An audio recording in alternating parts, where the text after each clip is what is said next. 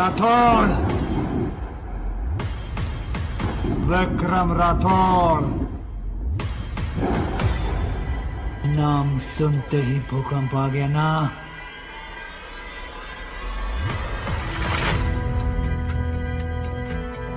मैं जानता हूँ ये लोग तुम्हारे लिए कितना मायने रखते हैं। इसलिए पहला शिकार तो भी चुनो दया नायक मुंबई पुलिस में एक भारतीय पुलिस सहायक निरीक्षक हैं। वो 1995 में मुंबई पुलिस में शामिल हुए, जिसे तब बॉम्बे के नाम से जाना जाता था और 1990 के दशक के अंत में एक मुठभेड़ विशेषज्ञ के रूप में प्रसिद्धि के लिए भूमिका निभाई।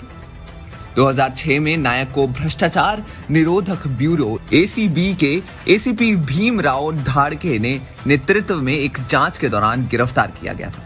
एसीबी के अधिकारियों ने 21 जनवरी 2006 को उनके घर पर छापा मारा।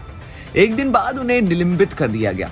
उनके द्वारा बनाए गए स्कूल पर भी कर्नाटक राज्य सरकार की मंजूरी के बिना छापा मारा गया था।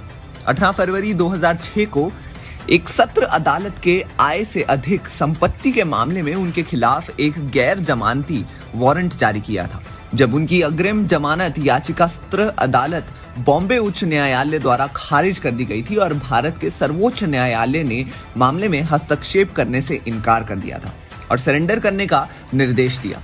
दो दिन बाद उन्होंने निर्देश अनुसार आत्मसमर्पण कर दिया और उन्हें न्यायिक हिरासत में भेज दिया गया।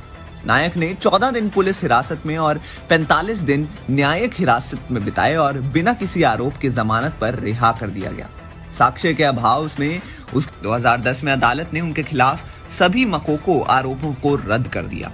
16 जून 2012 को मुंबई पुलिस ने दया नायक को बहाल कर दिया।